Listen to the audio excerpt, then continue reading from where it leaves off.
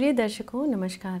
आइए सुनते हैं आज का मुख्य समाचार। राष्ट्रीय खेल दिवस के उपलक्ष्य में सेल आरएसपी में प्रदर्शनी महिला फुटबॉल मैच आयोजित। सेल आरएसपी के ऊर्जा प्रबंधन विभाग में कर्मवीर पुरस्कार वितरण समारोह आयोजित और आज़ादी का अमृत महोत्सव की कड़ी में आज के व्यक्तित्व हैं सामंत माधव चंद्र राउत राय अब समाचार विस्तार से।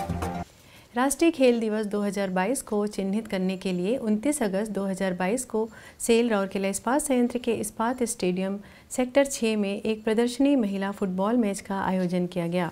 आरएसपी के कार्यपालक निदेशक परियोजनाएँ श्री पी के साहू।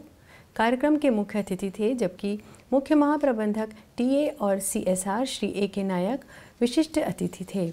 इस अवसर पर महाप्रबंधक प्रभारी नगर सेवा श्री पी के दास, जाने माने खेल हस्तियाँ, छात्र अभिभावक और बड़ी संख्या में खेल प्रेमी राउरकेला इस अवसर में उपस्थित थे।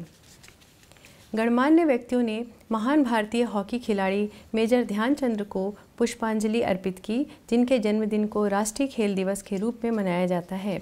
फिर उनका खिलाड़ियों के साथ परिचय कराया गया, जिसके बाद श्री पी के साहू ने गेंद मारकर खेल की दूसरी पारी की शुरुआत की।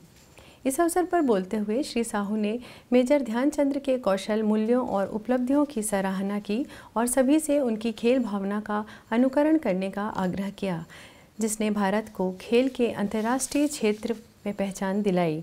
उन्होंने ग्रामीण खेलों के विशेष उल्लेख के साथ खेल गतिविधियों को बढ़ावा देने के लिए सेल आरएसपी द्वारा की गई पहल और विभिन्न क्षेत्रों में उभरती खेल प्रतिभाओं को तैयार करने में इसकी भूमिका पर भी प्रकाश डाला। ओडिशा 11 और आरएसपी 11 के बीच यह प्रदर्शनी फुटबॉल मैच खेला गया। ओडिशा 11 ने आरएसपी 11 को 6-1 से हराकर मैच के विजेता बने। इस अवसर पर खिलाड़ियों सहित कोचों और खेल अधिकारियों को भी प्रतीक उपहार के साथ सम्मानित किया गया। प्रारंभ में श्री ए के नायक ने स्वागत भाषण पेश की, जबकि सहायक प्रबंधक क्रीड़ा श्री रघु पाड़ी ने औपचारिक धन्यवाद ज्ञापित किया। कार्यक्रम का संचालन कोल्ड रोलिंग मिल के श्री अनिल मलिक द्वारा किया गया। सेल राउरकेला इस्पात संयंत्र के ऊर्जा प्रबंधन विभाग के ऊर्जा केंद्र के वरिष्ठ तकनीशियन श्री सुशील बेहरा को 27 अगस्त को विभाग में आयोजित एक समारोह में कर्मवीर पुरस्कार से सम्मानित किया गया। मुख्य महाप्रबंधक EMD Shri P S Kannan ने समारोह की अध्यक्षता की और पुरस्कार प्रदान किए। इस अवसर पर विभाग के अन्य वरिष्ठ अधिकारी एवं कर्मचारी उपस्थित थे।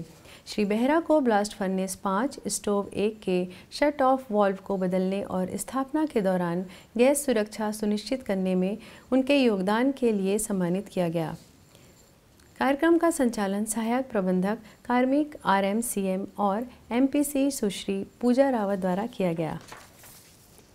आज़ादी का अमृत महोत्सव समारोह के उपलक्ष्य में सेल राउरकेला इस्पात संयंत्र ओडिशा के कुछ प्रतिष्ठित व्यक्तियों पर समाचारों की एक कड़ी प्रस्तुत कर रहा है। आज के व्यक्तित्व हैं सामंत माधव चंद्र राउत राय। वर्ष 1827 में सामंत माधव चंद्र राउत राय के नेतृत्व में तपनगढ़ के लोगों ने अंग्रेज़ों के दमनकारी शासन के खिलाफ उन्हें लगान देने से इनकार कर आवाज़ उठाई। ब्रिटिश अधिकारियों ने तपंग के दल बेहरा को बकाया किराया तुरंत चुकाने और खोरदा की अदालत में आत्मसमर्पण करने के लिए एक अंतिम चेतावनी भेजा।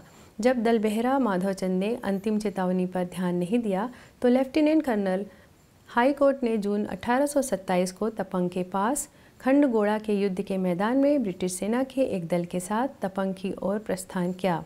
दल बेहरा को बाद में अंग्रेज़ों के सामने आत्मसमर्पण करना पड़ा और बाद में उन्हें माफ़ कर दिया गया।